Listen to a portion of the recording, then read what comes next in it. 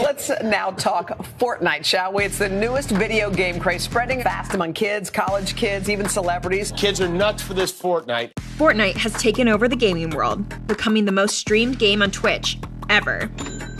But brands are left out of the action, either tweeting from the sidelines or paying big bucks for in game sponsorships. So when Fortnite announced a new event called Food Fight between Team Pizza and Team Burger, Wendy saw an organic weigh in. We found out Team Burger stored their beef in freezers. And Wendy's doesn't do frozen beef.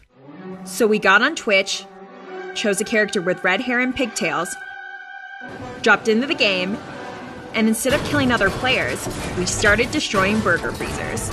Again and again and again for nine hours straight. We also declared our mission on Twitter, sending hundreds of thousands of gamers to Twitch to watch us play.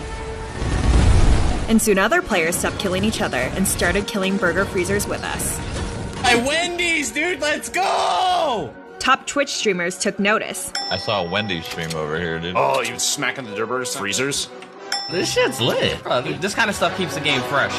Thank you so much for coming to the stream, Wendy's.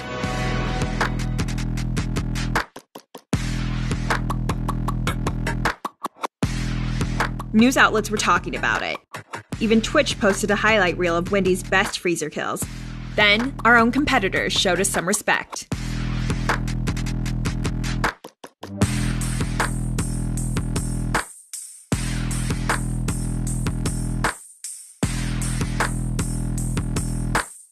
But most importantly, the game developers removed the freezers from every burger restaurant, meaning Wendy's had rid Fortnite of frozen beef forever.